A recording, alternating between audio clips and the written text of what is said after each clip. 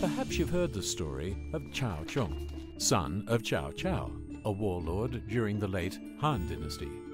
On one occasion, Chong's father received the gift in the form of an elephant. Father Cao Cao wished to know the animal's weight. Cao Chong had the bright idea of applying the principle of buoyancy. Any object wholly or partially immersed in a fluid is buoyed up by a force equal to the weight of the fluid that it displaced. Cao Chong loaded the animal in a boat, then marked the water level on the boat. Then he unloaded the boat. He then used the draft of the boat to determine the elephant's weight by calculating the total displacement of water caused by the animal.